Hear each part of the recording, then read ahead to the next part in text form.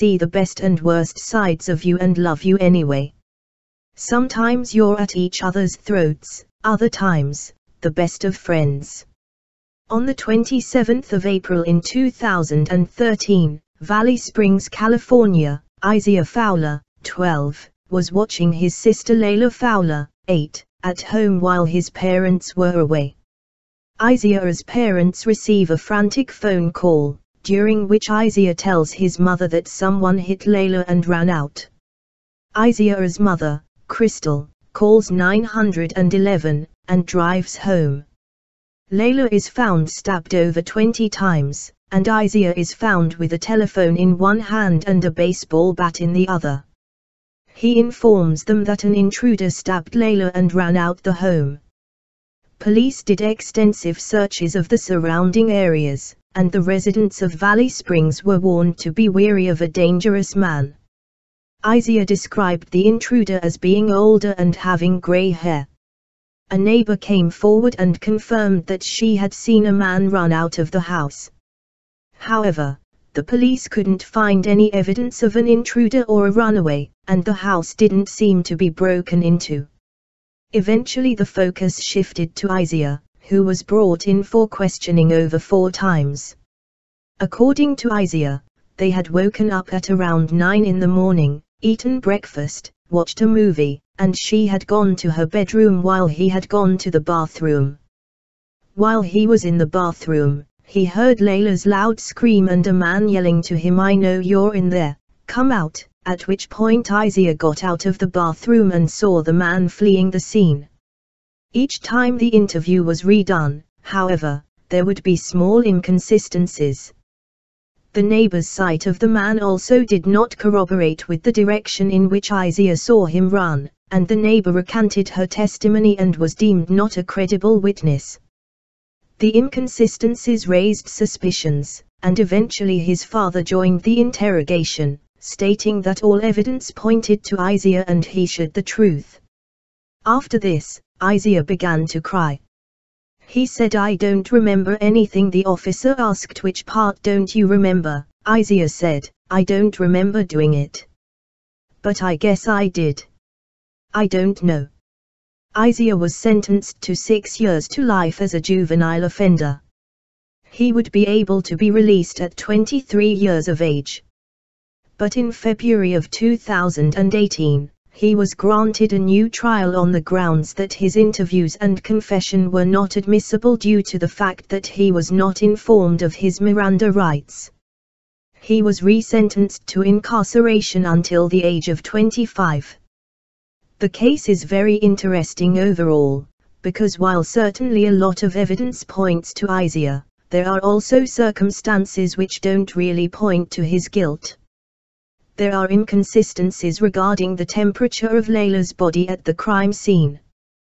Paramedics stated that Leila's body was cool and not breathing, and likely had been dead for a while. But Leila's father, who picked her up at the scene, said that blood was still flowing from her wounds and it seemed like she was still alive.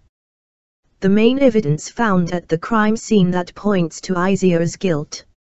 A knife in the kitchen had Leila's blood found on the hilt. The knife was washed.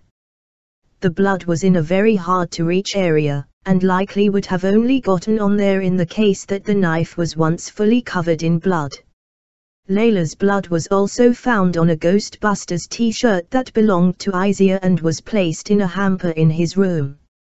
Of the more than 20 stab wounds, only one was fatal. The majority of the rest were poking wounds, as if to intimidate.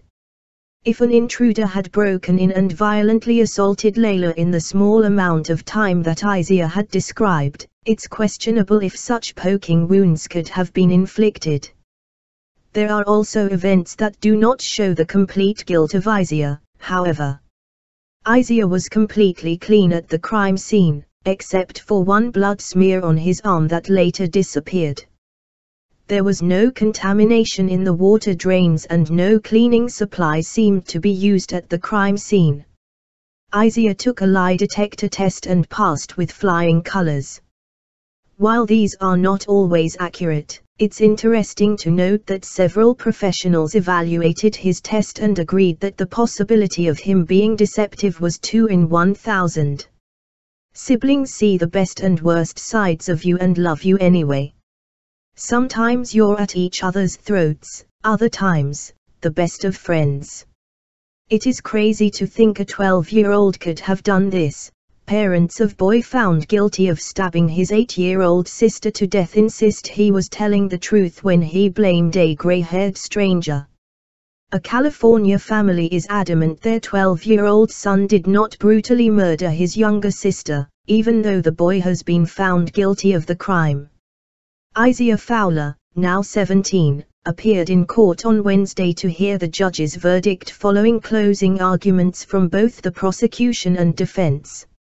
According to the Union Democrat, Judge Susan C. Harlan delivered the guilty verdict immediately after both sides wrapped their closing statements. The main piece of evidence was a male hair that was found in Leila's underwear. This hair did not belong to any of Leila's family members or police. Until today it is unknown to whom this hair belongs to. While many think Isaiah confessed to the murder, I don't think his confession is admissible, because he really was very intensely questioned and his father was there, which could have greatly influenced him in an already vulnerable state. Besides, he later recanted. Leila's temperature was never taken, so the exact time of her death is unknown. It is thought that Isaiah killed her in the morning, cleaned up the scene, and then staged the intruder story but would a 12-year-old boy be capable of so expertly cleaning the scene that he had no fully blood-soaked clothing? Also, what could have motivated him to stab his own sister? He has, at least currently, no known disorders and no violent past, and allegedly got along well with Leila. This is really an unfortunate situation, especially that these parents lost both of their children, as Isaiah is currently behind bars. However, this case is still very intriguing because all does not really point to Isaiah, and there is still reasonable doubt that a young boy could have committed such a crime and not left behind hugely incriminating evidence. The hair sample is also a mystery how could it have gotten on Leila? There was a case in 1976 where a man named Kevin Green left his home after a fight and returned to find his wife severely beaten and raped. She had been pregnant and lost her child and suffered horrendous injuries. There were no signs of an intruder, and Kevin was sentenced to prison. After 16 years the police linked DNA evidence to a serial killer, who had entered the home and committed the crime. While these two cases are obviously very different, it does make you wonder, could it possibly be that someone else was guilty of the crime that Isaiah was sentenced for? The little girl died on the 27th of April 2013 from multiple stab wounds. Prosecutors said Leila was on the top bunk of a twin-size bed when her brother used a kitchen knife to stab her in the arms and chest 22 times. It is an absolute tragedy all the way around Yook said. It is very difficult for us to go through the trial again and relive it again, but the family relives it every day. She said despite what the family believes, their goal was to get justice for Leila. Leila is gone forever by her big brother York said during her closing arguments. The facts, the logic, science and the law lead to one conclusion only. The Fowler family believes Isaiah is innocent. The boy maintains that he was in the hall bathroom around noon on the 27th of April when he heard commotion coming from his sister's room. Isaiah said he peered out the door and saw a six-foot-tall Mexican man with shoulder-length gray hair stabbing his sister. Isaiah said the intruder threatened him before fleeing. Isaiah, then 12, was home alone with his sister at the time of the murder. The family also believes an intruder came into the home and killed the little girl. We knew this was highly unlikely this would happen Isaiah's stepmom Crystal Fowler said of the teen being exonerated. Barney Fowler, Isaiah's father, told the Union Democrat, he'll call me tonight. I'll see him this weekend. He told me that he doesn't care how much time they gave him as long as I know he didn't do it. The teen's attorney, Mark Reichel, said he was disappointed with the outcome of the trial. It's crazy to think a 12-year-old could have done this he said. There's a lot of law in this country, but not a lot of justice. Wednesday's verdict was the second time Isaiah had been found guilty of his sister's death. He was first convicted of second-degree murder in October 2015, but the conviction was overturned by three appeals. During the retrial, prosecutors said that Leila's blood had been found on the interior of the kitchen knife that had been used to kill her. The knife had been cleaned and was found on an unmarked white towel in the house. Isaiah's Ghostbusters t-shirt was also stained with Leila's blood. It was found stuffed in a hamper in Isaiah's room. There was no intruder York said. Why would the miner tell the intruder story? Because he did it.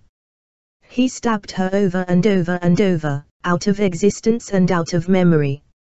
Isaiah's lawyer, however, said the then 12-year-old would not have been tall enough to stand over the bunk bed and repeatedly stab his sister. Reichel also said Isaiah would have had to been a criminal mastermind to clean the crime scene of extensive blood stains on his body and clothes. According to the Union Democrat, Reichel said Leila was found with unidentified male DNA in her hair and in her underpants, which suggests she may have been molested by her attacker. Another thing Reichel said prosecutors failed to do was provide a motive for the horrendous crime. He said Isaiah came from a happy home. Up until that point we have nothing but love he said. We are blaming a 12-year-old boy, but he cannot defend himself. Isaiah will be sentenced on the 24th of July. He was previously sentenced to remain in jail until he turned 23, but it was vacated when his previous trial was overturned. The judge can either impose that same sentence or hand down a new one. Thank you for watching Fothers on the Case. Please like and subscribe.